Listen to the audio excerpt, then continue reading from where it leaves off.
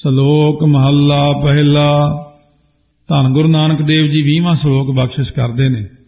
ਨਾਨਕ ਗੁਰ ਸੰਤੋਖ ਰੁਖ, ਧਰਮ ਫੁੱਲ, ਫਲ ਗਿਆਨ, ਰਸ ਰਸਿਆ ਹਰਿਆ ਸਦਾ, ਪੱਕਾ ਕਰਮ ਧਿਆਨ, ਨਾਨਕ ਗੁਰ ਸੰਤੋਖ ਰੁਖ। ਸਤਿਗੁਰੂ ਕਹਿੰਦੇ ਨੇ ਗੁਰੂ ਨਾਨਕ ਦੇਵ ਜੀ, ਗੁਰੂ ਸਾਹਿਬ ਜੀ ਸੰਤੋਖਮਈ ਬ੍ਰਿਕਸ਼ ਹਨ ਵੱਡਾ ਸਾਰਾ ਦਰਖਤ। ਗੁਰੂ ਗ੍ਰੰਥ ਸਾਹਿਬ ਜੀ ਮਹਾਰਾਜ ਸੱਚੇ ਪਾਤਸ਼ਾਹ ਸੰਤੋਖਮਈ ਬ੍ਰਿਕਸ਼। ਨਾ ਕੁਛ ਇਹਨਾਂ ਨੂੰ ਇੱਛਾ ਖਾਣ ਦੀ, ਨਾ ਪਹਿਰਨ ਦੀ, ਨਾ ਕੋਈ ਹੋਰ। ਧੰਨ ਗੁਰੂ ਨਾਨਕ ਦੇਵ ਜੀ ਨੂੰ ਭਾਈ ਮਰਦਾਨਾ ਨੇ ਕਹਿਣ, ਤੁਸੀਂ ਮਹਾਰਾਜ ਕੀ ਹੈ ਜੇ ਛਕਿਆ ਹੋਇਆ? ਤੁਹਾਨੂੰ ਭੁੱਖ ਹੀ ਨਹੀਂ ਲੱਗਦੀ। ਮੈਨੂੰ ਭੁੱਖ ਲੱਗੀ ਆਉਂਦੀ ਹੈ। ਸਤਿਗੁਰੂ ਕਹਿੰਦੇ, ਮਰਦਾਨਿਆ, ਨਾਮ ਦਾ ਆਸਰਾ ਹੈ, ਨਾਮ ਦਾ ਆਧਾਰ ਹੈ ਸਾਨੂੰ। ਫਿਰ ਉਹ ਜਿਹੜਾ ਸਤਿਗੁਰੂ ਰੂਪੀ ਸੰਤੋਖਮਈ ਬਹੁਤ ਵੱਡਾ ਦਰਖਤ ਹੈ ਨਾ, ਉਸ ਬ੍ਰਿਕਸ਼ ਦੇ ਨਾਲ ਧਰਮ ਰੂਪੀ ਫੁੱਲ ਲੱਗਦਾ ਅਤੇ ਗਿਆਨ ਰੂਪੀ ਫਿਰ ਫਲ ਲੱਗੇ ਹੋਏ ਨੇ। ਧਰਮ ਰੂਪੀ ਫੁੱਲ ਤੇ ਗਿਆਨ ਰੂਪੀ ਫਲ ਲੱਗੇ ਹੋਏ ਨੇ। ਰਸ ਰਸਿਆ, ਹਰਿਆ, ਸਦਾ ਪੱਕਾ ਕਰਮ ਧਿਆਨ। ਉਹ ਗਿਆਨ ਰੂਪੀ ਫਲ ਆਤਮ ਰਸ ਨਾਲ ਰਸਿਆ ਹੋਇਆ ਅਤੇ ਸ਼ੁਭ ਗੁਣਾ ਕਰਕੇ ਸਦਾ ਹੀ ਹਰਿਆ ਭਰਿਆ ਹੈ। ਧਿਆਨ ਰੂਪੀ ਕਰਮ ਕਰਨ ਨਾਲੋਂ ਗਿਆਨ ਰੂਪੀ ਫਲ ਪੱਕਦਾ ਹੈ। ਧਿਆਨ ਰੂਪੀ ਕਰਮ ਕਰਨਾ ਆਪਾਂ ਨੇ। ਧੁਨ ਮੈਂ ਧਿਆਨ ਧਿਆਨ ਮੈਂ ਜਾਣਿਆ। ਧਿਆਨ ਧਰੋ ਤੇ ਕੋ ਮਨ ਮੈਂ, ਜਿਹੇ ਕੋ ਅਮਿਤੋਜ ਸਭਾ ਜਗ ਛਾਇਓ। ਮਹਾਰਾਜ ਜੀ ਕਹਿੰਦੇ ਧਿਆਨ ਕਰੋ ਧਿਆਨ ਕਰੋ ਪ੍ਰਮਾਤਮਾ ਦਾ। ਮਹਾਰਾਜ, ਇਹ ਫਲ ਪ੍ਰਾਪਤ ਕਿਵੇਂ ਹੁੰਦਾ? ਕਹਿੰਦੇ ਗੁਰਾਂ ਦੇ ਚਰਨਾਂ ਦਾ ਧਿਆਨ ਕਰਨੇ ਰੂਪ ਕਰਮ ਕਰਨੇ ਨਾਲ ਇਹ ਫਲ ਪੱਕਾ ਤੋਂ ਭਾਵ ਪ੍ਰਾਪਤ ਹੁੰਦਾ ਹੈ। ਫਲ ਪੱਕ ਜਾਂਦਾ ਜੇ ਧਿਆਨ ਗੁਰੂ ਦੇ ਚਰਨਾਂ ਵੱਲ ਹੋਵੇ, ਪਰਮਾਤਮਾ ਨਾਲ ਜੁੜਿਆ ਹੋਵੇ, ਗੁਰੂ ਸਾਹਿਬ ਦਾ ਆਗਿਆਕਾਰੀ ਬਣੇ, ਇੰਨਾ ਵੱਡਾ ਪਾਤਸ਼ਾਹ ਤਿੰਨਾਂ ਲੋਕਾਂ ਦਾ ਮਾਲਕ, ਉਹਦੀ ਆਗਿਆ ਵਿੱਚ ਆਪਾਂ ਚੱਲ ਕੇ ਰਾਜੀ ਨਹੀਂ।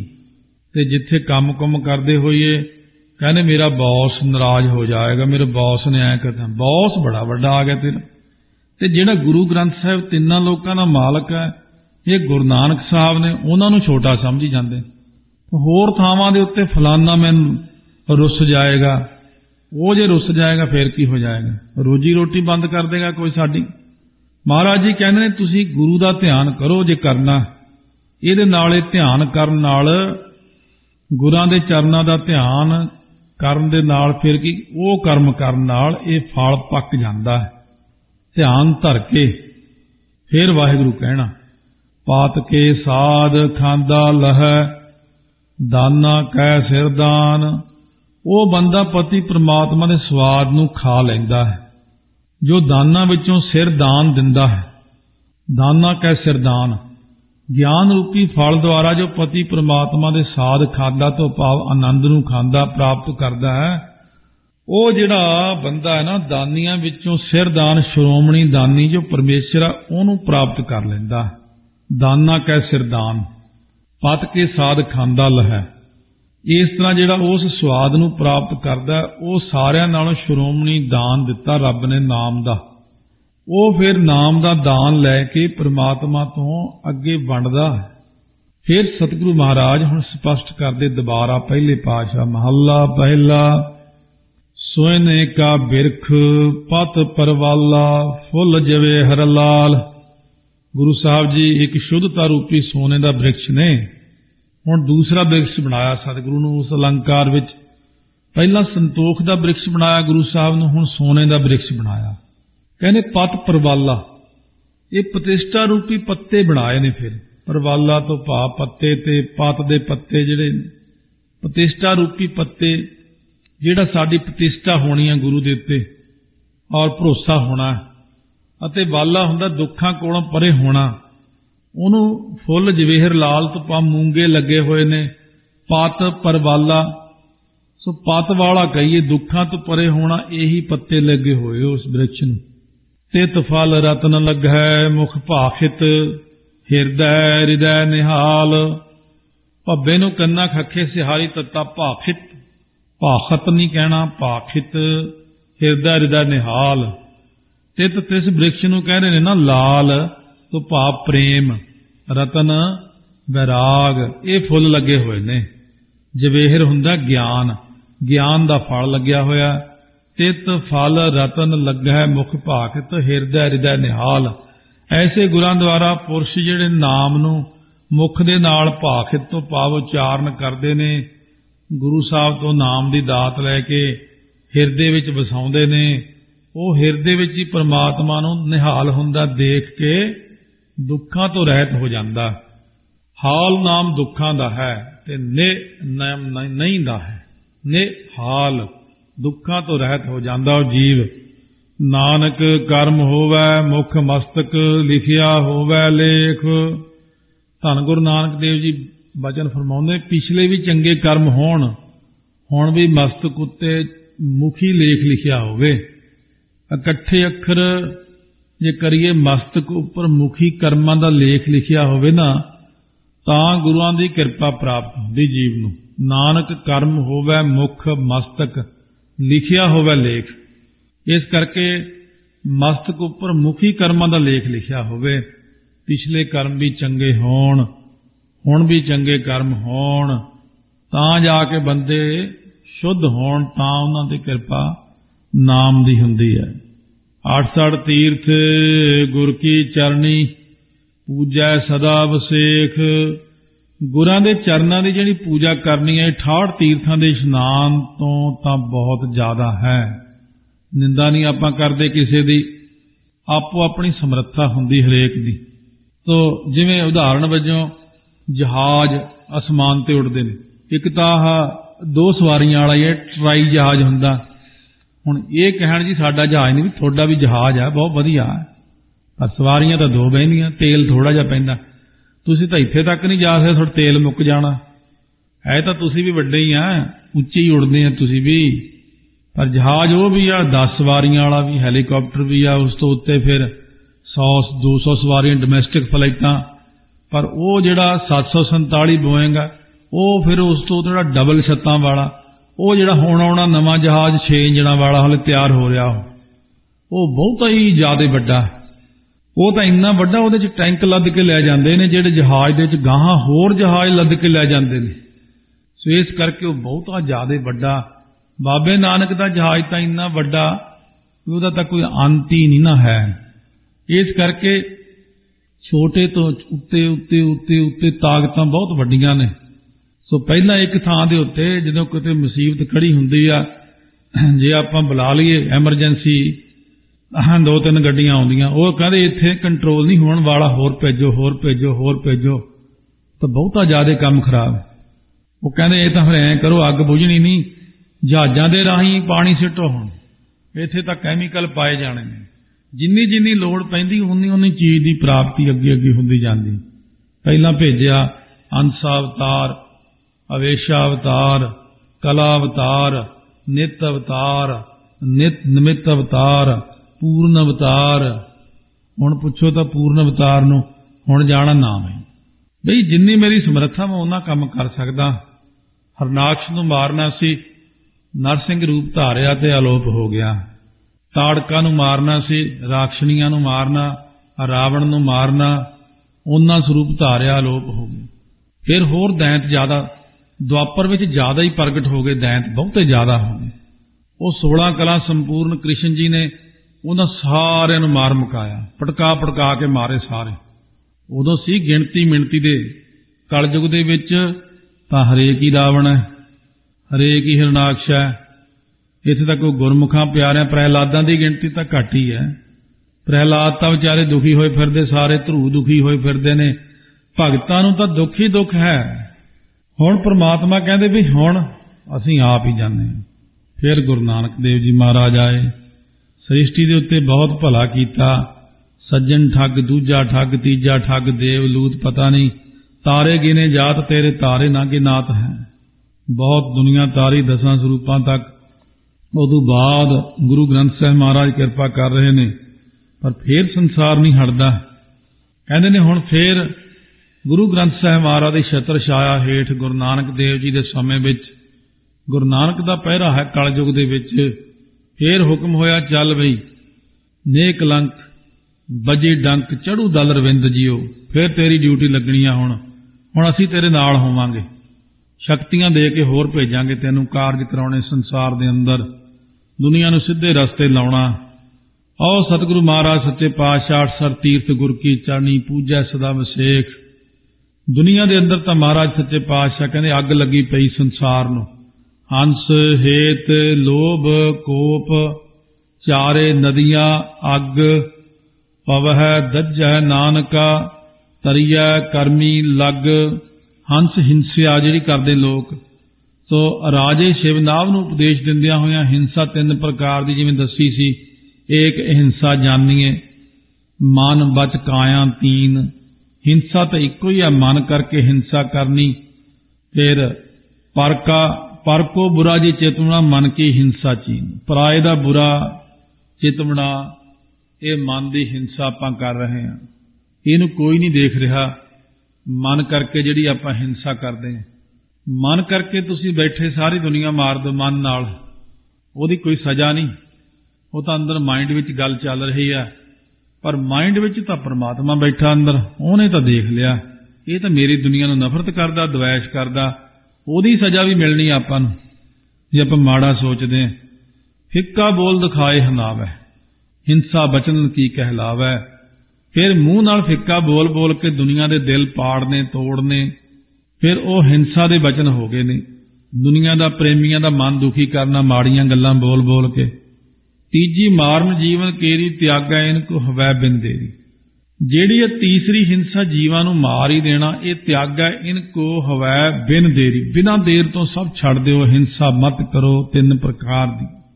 ਇਹ ਸਤਿਗੁਰੂ ਮਹਾਰਾਜ, ਕਹਿੰਦੇ ਹੰਸ ਹੁੰਦੀ ਹਿੰਸਿਆ ਕਰਨੀ, ਹੇਤ ਹੁੰਦਾ ਮੋਹ, ਲੋਭ ਕਰਨਾ ਪਦਾਰਥਾਂ ਦਾ, ਕੋਪ ਹੁੰਦਾ ਕ੍ਰੋਧ। ਇਹ ਚਾਰੇ ਅੱਗ ਦੀਆਂ ਨਦੀਆਂ ਨੇ। ਜਿਹੜਾ ਬੰਦਾ ਇਹਨਾਂ ਵਿੱਚ ਪੈਂਦਾ, ਉਹ ਦੱਜਾ ਸੜਦਾ, ਕਿਉਂਕਿ ਲੋਭੀ ਪੁਰਸ਼ ਨੂੰ ਵੀ ਸ਼ਾਂਤੀ ਨਹੀਂ ਹੁੰਦੀ। ਹਰ ਟਾਈਮ ਭਟਕਣਾ ਕਰਕੇ ਕਬਹੂ ਜੀੜਾ ਉਹ ਚੜਤ ਹੈ, ਕਬਹੂ ਜਾਏ ਪਿਆਲੇ।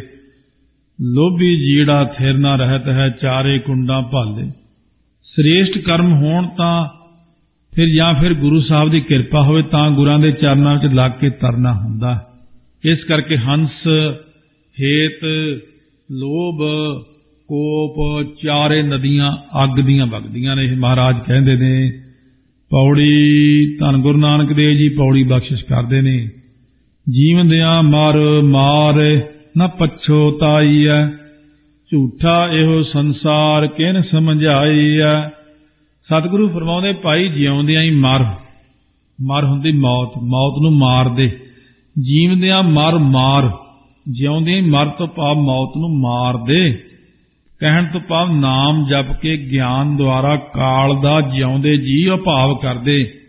ਗਿਆਨੀ ਕਾਲ ਕੋ ਬੰਚਨ ਕਰੇ। ਜਿਉਂਦੇ ਜੀ ਮੌਤ ਨੂੰ ਮਾਰ ਦੇਣਾ। ਪਹਿਲਾਂ ਹੀ ਮੁਕਾ ਦਿੰਦੇ ਕੰਮ ਐਡਵਾਂਸ ਵਿੱਚ ਹੀ। ਜ਼ਰੂਰ ਫਿਰ ਮੌਤ ਆਉਣੀ ਨਾਲ ਟੱਕਰ ਲੈਣੀ ਹੈ ਕਹਿੰਦੇ। ਪਹਿਲਾਂ ਹੀ ਮੌਤ ਦਾ ਖਾਤਮਾ ਕਰ ਦਈਏ ਆਪਾਂ। ਮੌਤ ਵਾਲੇ ਰਸਤੇ ਜਾਣਾ ਹੀ ਕਿਉਂ ਹੈ? ਸੋ ਜਿਵੇਂ ਉਦਾਹਰਣ ਵਜੋਂ ਸੰਸਾਰ ਵਿੱਚ ਜਿਵੇਂ ਕਿਸੇ ਨੂੰ ਫਾਂਸੀ ਦੀ ਸਜ਼ਾ ਹੋ ਜੇ, ਇਹ ਮੌਤ ਹੈ। ਇੱਕ ਤਾਂ ਹੁੰਦੀ ਸੁਤੇ ਸਿੱਧ ਜਾਣਾ ਦੁਨੀਆ 'ਚੋਂ। ਫਿਰ ਕਹਿੰਦੇ ਨੂੰ ਫਾਂਸੀ ਦੀ ਸਜ਼ਾ ਹੋ ਗਈ। ਹੁਣ ਕਿ ਟੇਕੇ ਬੈਂਦਾ ਬੰਦਾ, ਫਿਰ ਉੱਪਰ ਕੇਸ ਕਰਦਾ। ਇਹਦੇ ਜੀ ਬੱਚੇ ਨੇ, ਇਹਦੇ ਆ ਨੇ, ਤਾਂ ਤੱਕ ਜਾਂਦੀ ਗੱਲ, ਰਾਸ਼ਟਰਪਤੀ ਤੱਕ ਜਾਂਦੀ ਹੈ। ਮਾਫੀਆਂ ਮੰਗਦਾ ਫਿਰਦਾ। ਕਹਿੰਦੇ, ਜੇ ਤੁਸੀਂ ਅਦਾਲਤ ਵਿੱਚ ਨਾ ਗਏ, ਉਹਨਾਂ ਨੂੰ ਤਾਂ ਫਾਂਸੀ ਲਾ ਦੇਣੀ ਫਿਰ ਸਾਰੇ ਜਣੇ ਭੱਜ ਦੌੜ ਕਰਦੇ, ਯਤਨ ਕਰਦੇ ਨੇ, ਚਲੋ ਫਾਂਸੀ ਰੁਕਵਾ ਲਈ ਜੀ ਫਲਾਣੇ ਦੀ। ਮਹਾਰਾਜ ਕਹਿੰਦੇ, ਤੂੰ ਜਿਉਂਦੇ ਜੀ, ਤੈਨੂੰ ਜਮਾਂ ਦਾ ਫਾਹਾ ਪੈਣਾ ਉਹਦੇ ਲਈ। ਜੇ ਤਾਂ ਇੱਥੇ ਜੱਜ ਫਾਂਸੀ ਦੇ ਦੇ, ਉਹਦੇ ਲਈ ਕਿੱਡੀ ਭੱਜ ਦੌੜ ਹੈ। ਤੇ ਜਿਹੜਾ ਜਮਾਂ ਦਾ ਫਾਹਾ ਗਲ 'ਚ ਪਹਿਲਾਂ ਹੀ ਫਿੱਟ ਕੀਤਾ ਹੋਇਆ, ਪਹਿਲਾਂ ਹੀ ਉਹਨੇ ਬਸ ਕੜਿੱਕ ਕਰਨਾ। ਉਹ ਤੈਨੂੰ ਯਾਦ ਨਹੀਂ? ਕਹਿੰਦੇ, ਜਿਉਂਦੇ ਜੀ, ਜਮਾਂ ਦੀ ਫਾਹੀ ਕੱਟ ਲੈ। ਜੀਵਦਿਆਂ ਮਰ, ਮਾਰ ਨਾ ਪਛੋਤਾਈਐ ਫਿਰ ਬਾਅਦ ਚ ਪਛਤਾਪ ਨਹੀਂ ਕਰੇਗਾ। ਮੈਨੂੰ ਤਾਂ ਦੱਸੇ ਹੀ ਨਹੀਂ ਸੀ ਕਿਸੇ ਨੇ, ਅੱਛਾ, ਜਮਦੂਤਾਂ ਦੀ ਫਾਹੀ ਉਹ ਜਿਹੜਾ ਸਥੂਲ ਸਰੀਰ ਹੈ, ਇਹਨੂੰ ਨਹੀਂ ਪਈ ਹੋਈ ਤਾਂ ਹੀ ਉਹ ਤਾਂ ਦੀਂਦੀ ਨਹੀਂ। ਉਹ ਪਈ ਉਹ ਅੰਦਰਲੇ ਸੂਖਮ ਸਰੀਰ ਨੂੰ ਆ। ਗਲ ਵਿੱਚ ਚੰਗੀ ਤਰ੍ਹਾਂ ਬਣਾ ਕੇ ਉਹਨਾਂ ਨੇ ਇਹੋ ਜਿਹਾ ਰੱਸਾ ਹੈ, ਇੱਕੋ ਹੀ ਝਟਕਾ ਮਾਰਨਾ, ਬਸ। ਉਹ ਪਤਾ ਹੀ ਉਦੋਂ ਲੱਗਣਾ ਨਹੀਂ ਤੇਰੀ ਗੱਲਾਂ ਗੁੱਲਾਂ ਉਦੋਂ ਹੀ ਰਹਿ ਜਾਣੀਆਂ, ਮਹਾਰਾਜ ਕਹਿੰਦੇ। ਜਿਉਂਦੇ ਜੀ ਫਾਹੀ ਕੱਟਦੇ, ਨਾਮ ਜਪ ਕੇ, ਬਾਣੀ ਪੜ੍ਹ ਕੇ ਸਿਮਨ ਕਰਕੇ, ਗੁਰੂ ਵਾਲਾ ਬਣ ਕੇ, ਗੁਰੂ ਦੇ ਚਰਨੀ ਲੱਗ ਕੇ, ਰਹਿਤ ਕਮਾ ਕੇ ਝੂਠਾ ਇਹੋ ਸੰਸਾਰ ਕਿਨੇ ਸਮਝਾਈ ਐ ਇਹ ਸੰਸਾਰ ਸਾਰਾ ਝੂਠਾ ਹੈ। ਕਿਹਨੂੰ ਸਮਝਾਉਣਾ ਕਰੀਏ? ਕਿਉਂਕਿ ਕੋਈ ਸਮਝਦਾ ਹੀ ਨਹੀਂ। ਕਿਸੇ ਕਿਸੇ ਨੂੰ ਤਾਂ ਸਮਝ ਆ ਗਈ ਆ। ਉਹ ਤਾਂ ਨਾਲ ਰਲ ਕੇ ਚੱਲ ਪਏ ਭਾਈ। ਜੇ ਕਿਸੇ ਨੂੰ ਸਮਝਾਉਨੇ ਆ, ਉਹ ਕਹਿੰਦੇ ਜਾ ਆਪਣਾ ਕੰਮ ਕਰ। ਤੈਨੂੰ ਬੜਾ ਪਤਾ। ਐਵੇਂ ਗੱਲਾਂ ਬਣਾਈਆਂ। ਅਸੀਂ ਇੰਨੇ ਤਾਹਾਂ ਦੇ ਬੰਦੇ। ਉਹ ਇਹਨਾਂ ਗੱਲਾਂ ਨੂੰ ਮੰਨਦੇ ਹੀ ਨਹੀਂ। ਗੁਰੂ ਗ੍ਰੰਥ ਸਾਹਿਬ ਨੂੰ ਉਦਾਂ ਮੱਥਾ ਟੇਕਦੇ ਨੇ, ਪਰ ਇਹਨਾਂ ਗੱਲਾਂ ਨੂੰ ਨਹੀਂ ਮੰਨਦੇ। ਜੇ ਗੁਰੂ ਗ੍ਰੰਥ ਸਾਹਿਬ 'ਚ ਇੰਨਾ ਕੁਝ ਲਿਖਿਆ ਹੋਇਆ, ਉਹਨੂੰ ਵੀ ਰਿਜੈਕਟ ਕਰ ਛੱਡਦੇ ਆ। ਉਹ ਨਹੀਂ ਜੀ, ਇਹ ਤਾਂ ਮਿਥਿਆਸ ਹੈ ਜੀ ਸਾਰਾ। ਮਿਥਿਆਸ ਕਹਿ ਕੇ ਤੁਹਾਡਾ ਖਿਹੜਾ ਛੁੱਟ ਜਾਣਾ। ਸੋ ਗੁਰੂ ਗ੍ਰੰਥ ਸਾਹਿਬ ਦੇ ਵਿੱਚ ਜੋ ਲਿਖਿਆ, ਸੋ ਸੱਚ। ਸੰਤ ਬਾਬਾ ਮੱਗਰ ਸਿੰਘ ਜੀ ਰਾਮਗੜ੍ਹ ਵਾਲੇ ਹੋਏ। ਪਹਿਲਾਂ ਵੀ ਕਈ ਵਾਰ ਦੱਸਿਆ ਮੈਂ, ਦਾਸ ਨੇ, ਮੈਂ ਅੱਖਰ ਵਰਤੋਂ ਮਨਾ। ਦਾਸ ਨੇ ਪਹਿਲਾਂ ਦੱਸਿਆ ਤੁਹਾਨੂੰ, ਬਈ ਬਾਬਾ ਮੱਗਰ ਸਿੰਘ ਜੀ ਕਹਿਣ ਲੱਗੇ, ਬਹੁਤ ਵੱਡੀ ਸੰਗਤ ਦੇ ਦੀਵਾਨ ਲੱਗਿਆ ਹੋਇਆ ਸੀ। ਕਈ ਪਿੰਡਾਂ ਦਾ ਇਕੱਠ ਸੀ। ਮਹਾਂਪੁਰਖ ਕਹਿੰਦੇ, ਭਾਈ ਸੰਗਤੇ ਗੁਰੂ ਗ੍ਰੰਥ ਸਾਹਿਬ ਦੇ ਵਿੱਚ ਸਾਰਾ ਕੁਝ ਹੈ, ਪਰ ਇੱਕ ਚੀਜ਼ ਨਹੀਂ ਹੈ। ਬੜੇ ਬੰਦਿਆਂ ਨੂੰ ਗੁੱਸਾ ਆਇਆ। ਇੱਕ ਚੀਜ਼ ਕਿਉਂ ਨਹੀਂ ਹੈ? ਦੋ ਤਿੰਨ ਜਾਣੇ ਦੀਵਾਨ 'ਚ ਹੀ ਖੜੇ ਹੋ ਗਏ। ਇਹ ਬਾਬਾ ਜੀ, ਗੱਲ ਵਾਪਸ ਲਓ।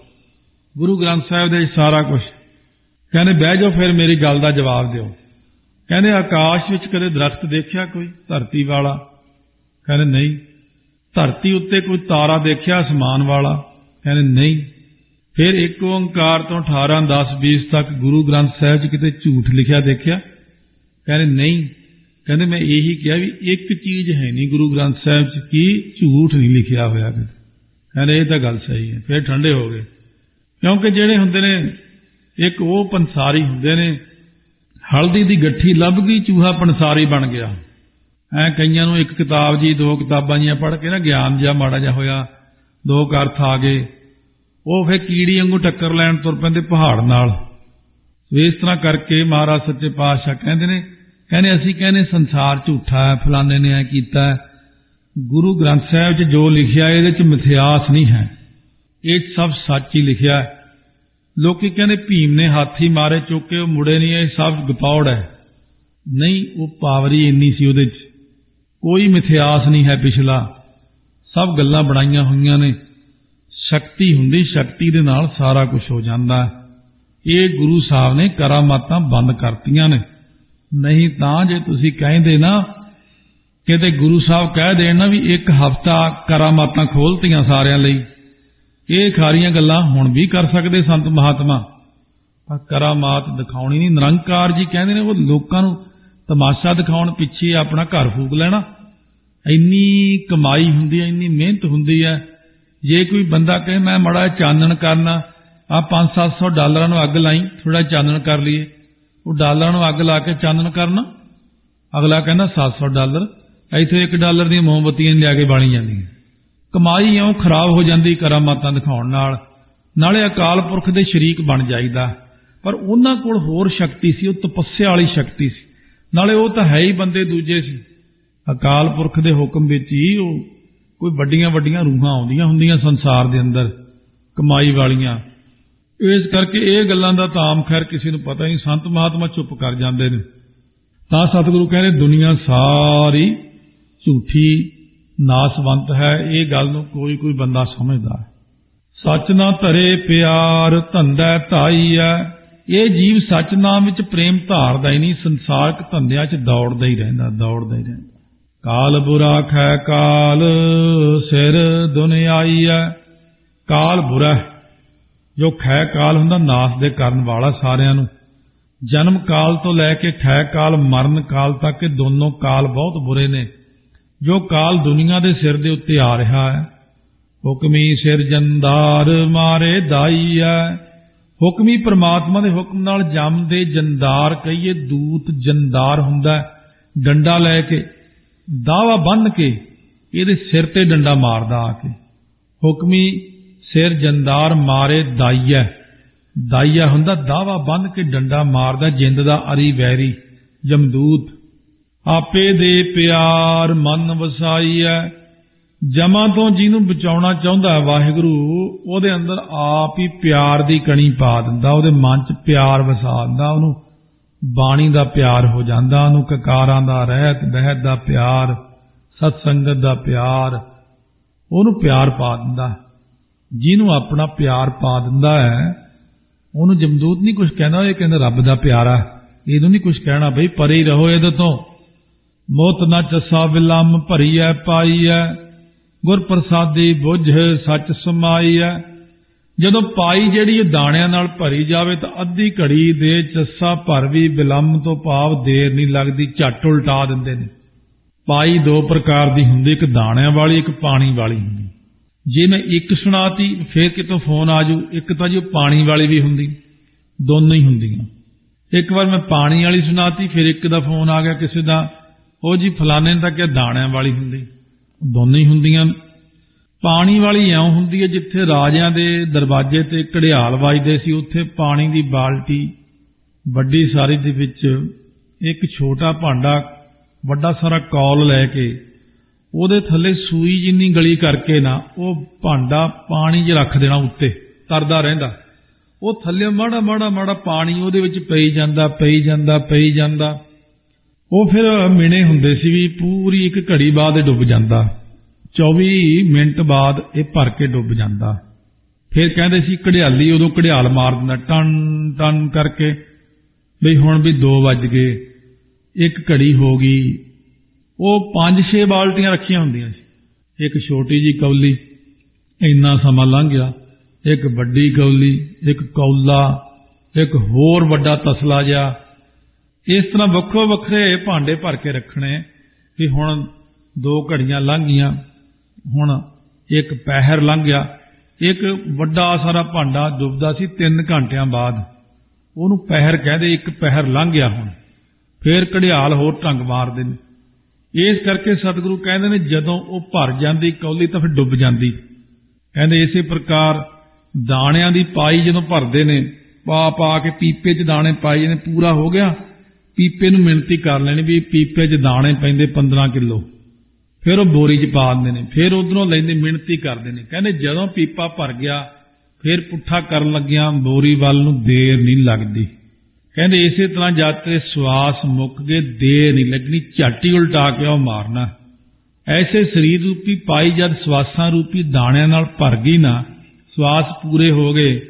ਤਾਂ ਕਹਿੰਦੇ ਮੋਹਤ ਹੁੰਦਾ ਅੱਧੀ ਘੜੀ ਤੇ ਚੱਸਾ ਭਰ ਦੇ ਨਹੀਂ ਲੱਗਣੀ ਪੁੱਠੇ ਹੋਣ ਨੂੰ ਤੈਨੂੰ। ਤਾਂ ਤੇ ਗੁਰਾਂ ਦੀ ਕਿਰਪਾ ਦੁਆਰਾ ਨਾਮ ਨੂੰ ਬੁੱਝ ਕੇ ਸੱਚ ਵਿੱਚ ਸਮਾਉਣਾ ਕਰ।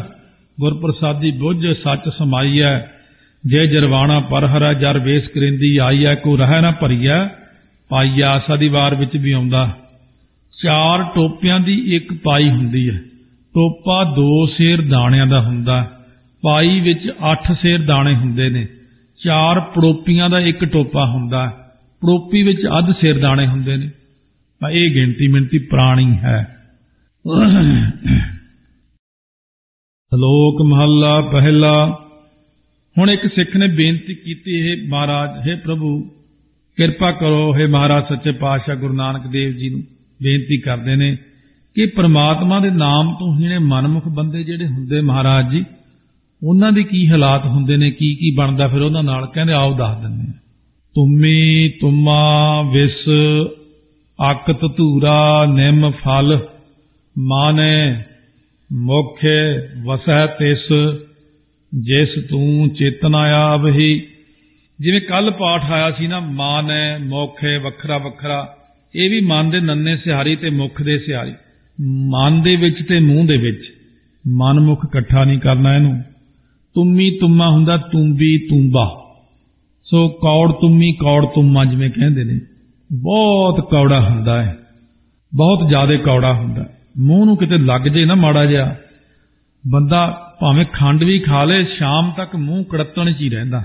ਵਿਸ, ਕਹਿੰਦੇ ਵਿਉ ਜਿਹੜੀ ਜ਼ਹਿਰ ਹੈ ਅਕਤ ਧੂਰਾ ਅਤੇ ਨਿੰਮ ਦਾ ਫਲ, ਨਮੋਲੀਆਂ ਜਾਂ ਨਿੰਮ ਜਾਂ ਨਿੰਮ ਦੇ ਪੱਤੇ, ਅੱਕ ਦੇ ਪੱਤੇ, ਧਤੂਰੇ ਦੇ ਪੱਤੇ ਬਹੁਤ ਕੌੜੇ ਹੁੰਦੇ ਨੇ, ਬਹੁਤੇ ਭੈੜੇ ਕੌੜੇ ਆ।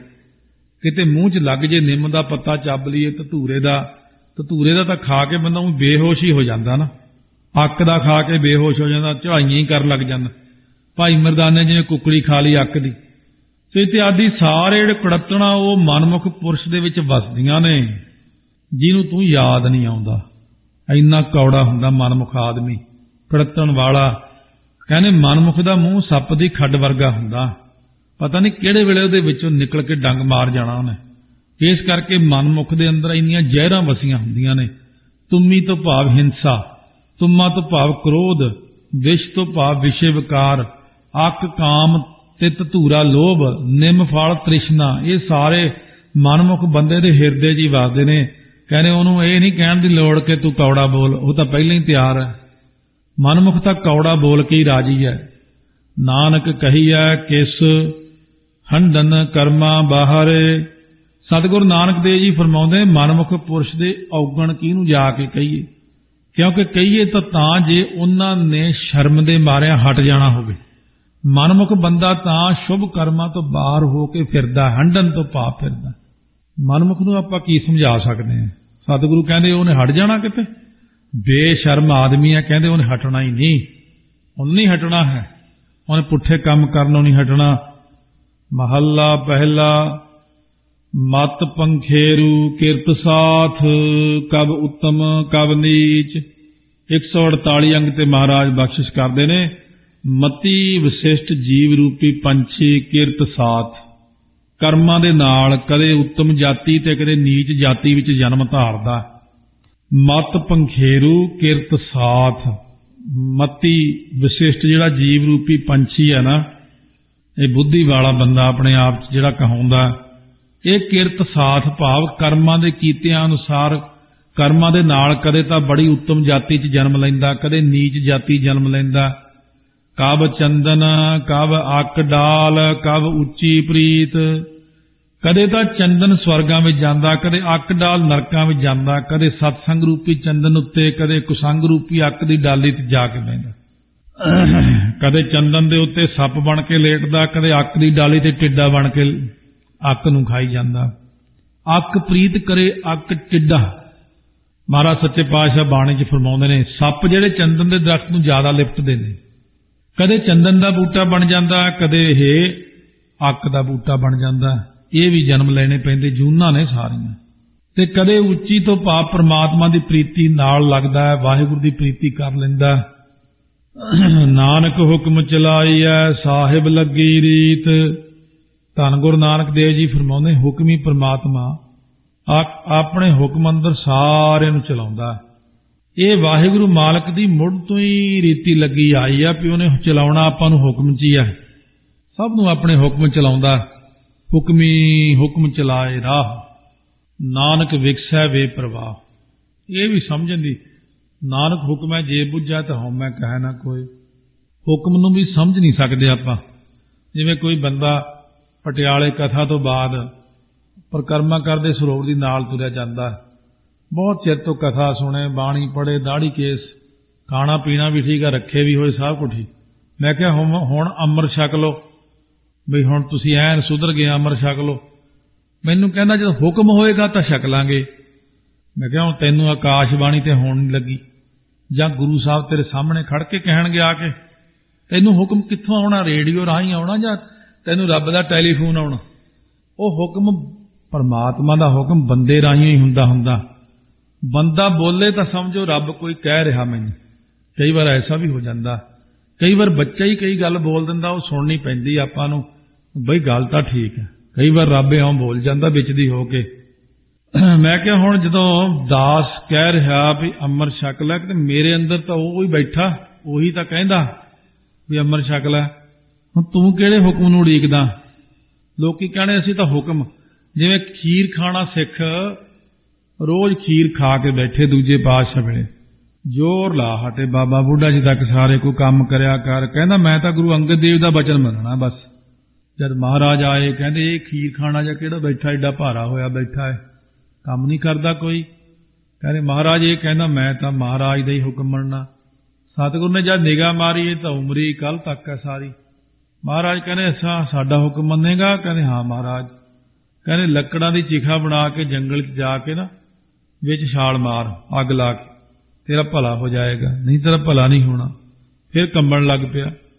ਉਸ ਵੇਸ ਕਰਕੇ ਮਹਾਰਾਜ ਸੱਚੇ ਪਾਤਸ਼ਾਹ ਕਹਿੰਦੇ ਨੇ, ਆਪਾਂ ਕਹਿੰਦੇ ਮੈਂ ਰੱਬ ਦੇ ਹੁਕਮ ਹੋਏਗਾ, ਰੱਬ ਦੇ ਹੁਕਮ ਚੱਲਾਂਗਾ, ਆਪਾਂ ਚੱਲ ਤਾਂ ਉਹਦੇ ਹੁਕਮ 'ਚ ਹੀ ਰਹੇ ਆ ਜੋ ਕੁਝ ਹੁੰਦਾ ਹੁਕਮ ਦੇ ਅੰਦਰ ਹੀ ਹੁੰਦਾ, ਪਰ ਹੁਕਮ ਦੀ ਖੇਡ ਨੂੰ ਸਮਝਦੇ ਹੀ ਕਈ ਸਾਲ ਲੰਘ ਜਾਂਦੇ ਨੇ। ਅਸਲ ਵਿੱਚ ਹੁਕਮ ਦੀ ਖੇਡ ਸਮਝਣੀ ਬਹੁਤ ਔਖੀ। ਪੌੜੀ, ਪਹਿਲੇ ਪਾਤਸ਼ਾਹ ਪੌੜੀ ਬਖਸ਼ਿਸ਼ ਕਰਦੇ ਨੇ। ਕੀਤੇ ਕਹਿ ਵਖਾਣ ਕਹਿ ਕਹਿ ਜਾਵਣਾ ਕਿੰਨੇ ਹੀ ਲੋਕ ਵਿਖਿਆਣਾ ਨੂੰ ਕਹਿੰਦੇ ਨੇ ਵੀ ਢੇਰ ਸਾਰਾ ਬਹੁਤ ਵਿਖਿਆਣ ਕਰ ਕਰਕੇ ਕਹਿ ਕਹਿ ਕੇ ਚਲਾ ਜਾਣਾ ਕਰਦੇ ਚਲੇ ਗਏ ਨੇ। ਜਿਸ ਆਸਣ ਹਮ ਬੈਠੇ ਕੇਤੇ ਬੈਸ ਗਿਆ। ਆ ਸਟੇਜ ਤੇ ਕਦੋਂ ਦੇ ਕਿੰਨੇ ਆ ਕੇ ਬੈਠੇ ਹੋਣੇ ਆ? ਚਲੇ ਗਏ। ਦੁਨੀਆ ਹੀ ਛੱਡ ਗਏ ਕਈ। ਖਾਲੀ ਹੋ ਗਈਆਂ ਸਟੇਜਾਂ ਚਲੇ ਗਏ ਨੇ, ਫਿਰ ਹੋਰ ਆ ਜਾਂਦੇ ਨੇ, ਫਿਰ ਹੋਰ ਆ ਜਾਂਦੇ ਨੇ, ਵਿਖਿਆਣ ਕਰਨ ਵਾਲੇ, ਕਥਨ ਕਰਨ ਵਾਲੇ ਸਤਜੁਗ ਤੋਂ ਲੈ ਕੇ ਤੁਰੇ ਆਉਂਦੇ ਨੇ। ਵੇਦ ਕਹੈ, ਵਖਿਆਣ ਅੰਤ ਨਾ ਪਾਵਣਾ। ਵੇਦਾਂ ਦੀ ਵਿਖਿਆਣ ਭਾਵ ਕਥਾ ਕਹਿਣ ਵਾਲਿਆਂ ਨੇ ਵੀ ਵਾਹਿਗੁਰੂ ਦਾ ਅੰਤ ਨਹੀਂ ਪਾਇਆ। ਕਿਉਂਕਿ RAM ਦਾ ਅੰਤ ਕਿਸੇ ਨੇ ਪਾਇਆ, ਪਰਮੇਸ਼ਰ ਦਾ। ਗੋਬਿੰਦ ਹਰੀ ਨਰਾਇਣ ਜੀ ਦਾ ਨਾਮ ਹੈ, ਦਾਮੋਦਰ ਮਾਧਵੇ। ਵਾਹਿਗੁਰੂ ਜੀ ਦਾ ਨਾਮ ਉਹਦਾ ਕਿਸੇ ਨੇ ਅੰਤ ਨਹੀਂ ਪਾਇਆ। ਪੜਿਆ ਨਾਹੀ ਭੇਦ ਬੁੱਝਿਆ ਪਾਵਣਾ। ਪੜਨੇ ਸੇ ਵੀ ਪਰਮੇਸ਼ਰ ਦਾ ਭੇਦ ਪ੍ਰਾਪਤ ਨਹੀਂ ਹੁੰਦਾ।